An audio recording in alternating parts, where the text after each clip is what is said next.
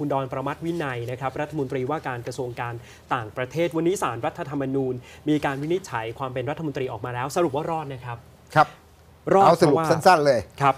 ก็คือว่าภรรยาคุณดอนเนี่ยภรรยาคุณดอนเนี่ยก็คือแบบ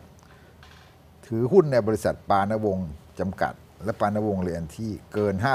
5%ทีนี้รัฐธรรมนูญกำหนดว่าต้องไม่ถือหุ้นเกิน 5%และต้องแจ้งปปชภายใน 30 วันเอ่อทีนี้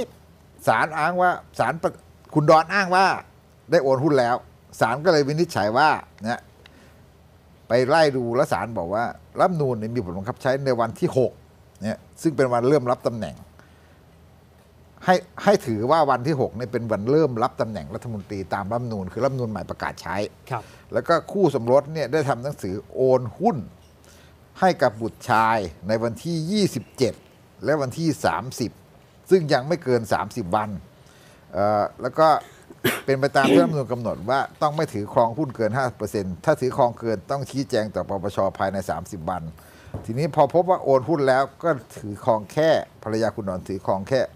ร้อยละสี่ครับที่เหลือโอนให้ลูกชายอืมก็เลยไม่ขัดรัฐธรรมนูญเดี๋ยวนะฮะอันนี้ก็ยังเดี๋ยวต้องไปดูคำวินิจฉัยกันในรายละเอียดก่อนเพราะว่าแล้วคดีนี้เนี่ยมันเคยมีเคสของคุณชัยยาสะสมทรัพย์ เคสของคุณชัยยาสะสมทรัพย์ที่บอกว่าไม่แจ้งเหมือนกันในคุณชัยยาเนี่ยจำได้ว่าเหมือนกับคุณชัยยาไม่ได้ไม่ได้โอนหุ้นแล้วก็อืมแล้วก็โดนโดนเอ่อก็เลยโดนถอดถอนจากตำแหน่งครับ สามนูนสั่งถอดจากตำแหน่ง อืม แต่อันเนี้ยคุณดอนบอกว่าโอนหุ้น ก็ต้องไปดูรายละเอียดของคำวินิจฉัยกันอีกทีครันะบอันนี้คือยัง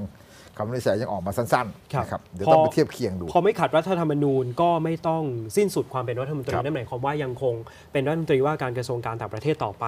คุณดอนก็เลยบอกแบบนี้นะครับว่ามีสมาธิในการทำงานในตำแหน่งรัฐมนตรีต่างประเทศมากยิ่งขึ้น เพราะว่าในเดือนพฤศจิกายนนี้มีภารกิจมากมาย รวมถึงการเป็นประธานอาเซียนของประเทศไทยด้วยนะครับ ก็ยอมรับว่าหุ้นดังกล่าวเนี่ยเป็นหุ้นของครอบครัวที่ถือมานานหลายสิบปีแล้ว นะครับแล้วก็พอพูดถึงเรื่องของการทำงานทางการเมืองหลังจากนี้ คุณนอบอกว่าเอ่อมีความประสงค์จะทำงานไม่ได้มีความประสงค์จะทำงานทางการเมืองต่อนะครับ เพราะว่าสิ่งที่อยากทำหลังจากนี้ก็ยังต้องคิดต่อไปว่าจะทำอะไรต่อไป แต่หากว่าจะมาในฐานะที่เป็นที่ปรึกษาโดยเฉพาะงานด้านต่างประเทศเนี่ยอันนี้ก็ยินดีครับนะครับ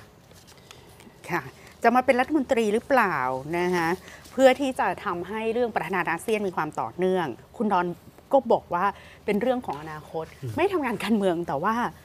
เป็นพอเรื่องถามของเรื่องอนาคตตำแหน่งรัฐมนตรีเป็นเรื่องของอนาคตนะคะค่ะยังอยากเป็นอยู่ยังอ๋อยังอยากทำงานเพื่อชาติอยู่ฟังคุณดอนหน่อยฮะกลัวเรื่องประธานอาเซียนสะดุดทำงานเพื่อค่ะชาติเดี๋ยวประธานอาเซียนสะดุดครับนะฮะฟังเสียงคุณดอนครับ ก็ถือว่า วันนี้ก็เป็นวันเริ่มต้นที่จะทำให้เราทำงานกันได้เต็มที่นะฮะเพราะว่าที่ผ่านมาเอ่อต้องยอมรับว่าได้ใช้เวลาส่วนหนึ่งนะฮะเพื่อกลับไปดูเอกสารเอ่ยอะไรต่ออะไรนะฮะที่ได้ดำเนินการไปทั้งที่เอ่อเราก็ไม่ได้คิดว่าเอ่อจะมีความซับซ้อนอะไรมากมายนะฮะกับเรื่องทางด้านกฎหมายกับอ่าหุ้นของครอบครัวนะฮะซึ่ง เป็นหุ้นที่มา 30 กว่าปีแล้วเป็นต้นนะฮะเพราะฉะนั้นก็ต้องขอขอบคุณทุกท่านที่ได้ติดตามเรื่องเหล่านี้นะฮะเรื่องเรื่องเรื่องที่เกี่ยวกับผมเนี่ยอย่างใกล้ชิดนะครับก็ก็ขอขอบคุณอีกครั้งแล้วก็จากนี้ไปต่างคนต่างก็มีเรื่องใหม่ที่ต้องทำกันนะฮะก็ดีฮะ คุณดอนก็เป็นรัฐมนตรีต่างประเทศต่อไปท่าเป็นรัฐมนตรีต่างประเทศที่ได้บันทึกในประวัติศาสตร์ พอสม มีบทบาทสำคัญนะฮะครับประวัติศาสตร์จะต้องบันทึกไว้โดยเฉพาะตอนที่หลาย ๆ เรื่องที่ท่านทำมา อย่างเช่นตอนที่เอ่อโต้กับทูตสหรัฐตอนอะไรต่างๆนี่นะฮะอืมตอนนี้ก็คุณดอนก็นะฮะก็บอกว่านี่พูดถึงเรื่องการเลือกตั้งครับเออพอดีคุณนครมาฉิมแกเสนอเสนอให้นานาชาติเข้ามาสังเกตการณ์ค่ะใช่ไหมใช่ครับคุณดอนบอกไม่ต้องเลยไม่จำเป็นเนี่ยไม่จำเป็นต้องมีองค์กรนานาชาติมาสังเกตการณ์เพราะรัฐบาลนี้ถึงแม้เรามาจากรัฐประหาร แต่ไม่ได้ห้ามหรือกดดันริดรอนเสรีภาพประชาชนนะฮะนี่ก็คุณดอนก็คือคุณดอนนะฮะนี่คือสมควรยิ่งๆที่จะเป็นรัฐมนตรีต่างประเทศต่อไปค่ะเราบอกว่ามีเพียงการทำงานตามรถแมพซึ่งถือเป็นเรื่องสร้างสรรค์ ส่วนการห้ามชุมนุมก็เป็นเรื่องของการรักษารักษาความสงบเรียบร้อยผมไม่ให้มีการชุมนุมเกิดขึ้น ขอให้เปิดใจกว้าง รัฐบาลไม่ทำอะไรเกินเลย การมีมาตรการพิเศษก็ต้องการให้เกิดความสงบเรียบร้อยเท่านั้นเอ่อส่วนที่ไม่เห็นด้วยว่าจะมีผู้สังเกตการณ์นานาชาติก็เป็นความเห็นส่วนตัว ยังไม่จะจะยังไม่เสนอให้รัฐบาลกำชับไปยังกกตว่าไม่ต้องมีผู้สังเกตการณ์และเห็นว่ามี